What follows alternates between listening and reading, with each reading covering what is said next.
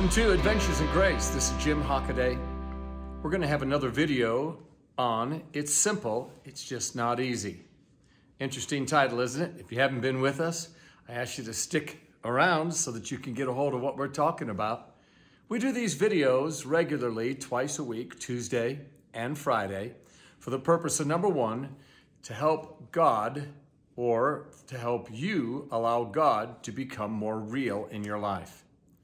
I've said this many times, it bears repetition always, and that is religion does a really good job of eliminating the tangibility of God. Religion is all about you having uh, all the formalities and yet denying the power of God or just not recognizing God at all.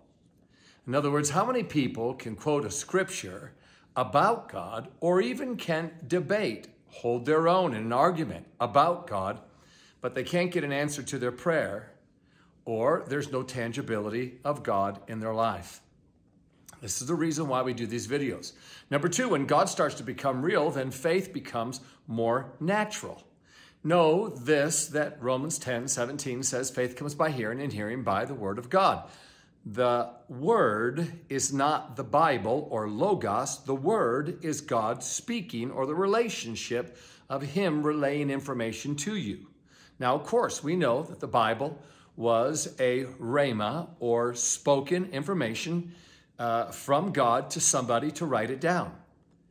And we see all through the Bible individuals interacting with God for the sake of their wonderful testimonies in this world of things that change because of the other world where they were connected to God. So you can read the Bible and God will speak to you from the Word. But that's not the only way. In fact, not everybody has a Bible. So if that's the case, then someone would be limited if that was the number one way. The number one way is what everybody has the opportunity to connect to, and that is God the Holy Ghost. And so the Spirit of God is speaking to you, and the more real God is, well, then obviously the more your faith is boistered because God being real just gives confidence to your faith. I mean, one word of God spoken to your heart will cause you to run through a troop and jump over a wall. Just meaning by that saying that it'll cause you to stand right in the midst of the worst of things and not budge and watch God deliver you and set you free. Number three, we want you to have testimonies. So we always give you Matthew 11, 27 to 30 in the Message Bible because it so wonderfully invites us by the Lord Jesus Himself. Don't you love that? Into a personal relationship with Him not just information about him. Amen. And notice what it says. Now Jesus resumed talking, uh, but now tenderly. The Father has given me all these things to do and say. This is a unique father and son operation coming out of father and son intimacies and knowledge. No one knows the son the way the father does, nor the father the way the son does. But I'm not keeping it to myself. I'm ready to go over it line by line with anyone willing to listen. Are you tired? Worn out, burned out on religion.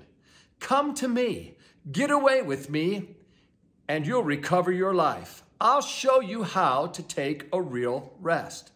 Walk with me, work with me, watch how I do it. Learn the unforced rhythms of grace. I won't lay anything heavy or ill fitting upon you. Keep company with me, and you'll learn how to live freely and lightly. Well, all those statements that Jesus makes about keeping company with him, walking with him, working with him, watching how he does it, does that mean that you watch how he does it through the scriptures? That you walk with him through the scriptures? See, most people would say yes, because their concept of actually walking with a person and listening to him and being aware of him is not really a part of their Christianity.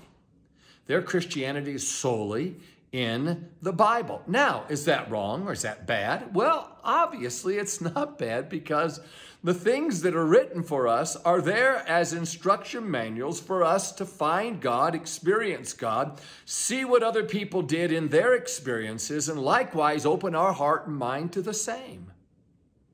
So, of course, it's wonderful. But you realize when you receive Christ, you go directly from your heart right to the very heart of God. And then what most everybody does is take you to the scriptures or to a manual as a diversion to go to the manual, then to get back to God. When you experienced Him directly from your heart to Him, to His heart. Now, obviously, we want to we want to bring in the scriptures and give people a solid foundation, give them the doctrines that will hold them steady in a time of difficulty. But don't we want to fan the flame of the spark inside of you coming alive and God coming to live in you? Wouldn't that also be necessary to fan that flame? Isn't it interesting that Paul had to, uh, after a period of time, begin to encourage Timothy to fan a flame? Meaning that wasn't something that was as normal to him as maybe Timothy being encouraged to, you know, study the doctrine and show himself approved. You see, it's really easy to go to things that are in this world to give us information about the things that are in the other world instead of just going to the other world. Jesus made the comment to Nicodemus, you know, he said, Nicodemus, why are you struggling? I said you must be born again. And, well, how in the world can I get back into my mother's womb? Nicodemus said, I, I don't think that's possible. And Jesus is like, no, Nicodemus, that's, that's not what we're saying here. He, he said, that which is born of flesh is flesh, but that which is born of spirit is spirit. So Jesus is talking a pure spiritual reality and it will influence your flesh, but the flesh isn't involved in you being born again. And Nicodemus is still like, How can these things be? And he said, Well, wait a minute. You know, uh, the, the spirit is like the wind. Uh, can you see the wind or do you see what the wind actually does? And he goes, Well, I get it. You see what the wind does. It goes, So is the Spirit of God. It's something for you to believe in, and you'll see the results of it in this world. And then Nicodemus still said, I, I, just still am struggling with these things because isn't it interesting that someone that spent so much time in the scriptures had no conceptual idea of how to connect to God spiritually? That's very interesting. And then Jesus made these comments and he said, you know, he said, listen, he said, you know, the things that I share with you are things that I know things that I've experienced. I'm sharing with you things that are real. He said, listen, Nicodemus, over in the 12th verse, if I'm sharing things in this natural or earthly world that help to relate to things in the heavenly world, and you won't wrap your brain around it, what if I just went directly from my heart right to the spiritual world and shared things of that other world? What would that do to you? In other words, what he was saying is, Nicodemus, you should be able to get this. I'm using earthly examples to help you to understand spiritual concepts that will draw you into a spiritual connection. But if you're not even getting this, my goodness, I mean, what, what would happen if I just went directly to spiritual things that would just blow your mind? Oh, glory. You see, it's simple, it's just not easy. And Nicodemus is an example of why it's not easy because he was so formulated and he had such patterns and routines of the flesh connecting to the flesh and bypassing the spiritual reality that when it came time to connect to the spiritual things, Nicodemus was struggling badly. And people do that all the time. And that's what will happen if your relationship with God vertically is only through the means of the scriptures or the church you go to or the tapes that you listen to or the preacher that you love. It has to become real to you. I remember even being at Rhema at, at the school and, and, and teachers saying, and it wasn't just one that would say, if you really want these truths that we're sharing with you to be yours, you're going to have to actually do something with them. You're going to have to act on them. You're going to have to put them into to uh, put them into practice. And then, as you put them into practice, you consciously will become united to them because you'll see how they work and then they're yours. Otherwise, you can tell somebody else about what you learned, but not actually walk in it yourself. And we're really saying these things very strongly and yet through different means. So this is exactly what we're talking about when we're sharing that it's simple, it's just not easy. So we've been sharing some wonderful things and we came over here to Second Corinthians in chapter 5 and I know this is a great passage in the Amplified. I'm just going to skip on down to verse 15. It says, And he, Jesus, died for all, so that all those who live might live no longer to and for themselves. Interesting concept. We're to we're going to live in and to for Christ, not for ourselves. See, this is a wonderful thought that goes with simple, just not easy. See, the paradigm is shifting. The way you think needs to change because you've changed. Yes, that's right. Praise the Lord. You've changed. You're no longer the same person. Now you're different. You're a brand new creature in Christ. You're even a new species of being. In other words, if you went from, now this, hold on, Get it? I'm, I'm just making an example. I'm not talking about reincarnation. But if you went from being a horse to a human, you'd have a big, huge curve to change. You'd have to think totally different. You wouldn't be eating hay anymore. You wouldn't be outside. You wouldn't be on all fours. You'd be upright. What a huge change. Is it possible that even though your body doesn't seem to have changed as far as what you've looked like, and you still recognize the senses of hear, smell, see, taste, touch, all those things in this earth, but you've completely changed as real and as drastic as there could be a change.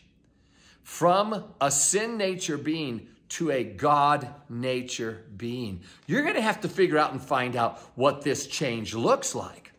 Yes, and at that moment you change. There was something in your heart that knew there was more to you than met the eye, and that God was real because your heart opened up and those spiritual uh, um, senses of your spirit came alive.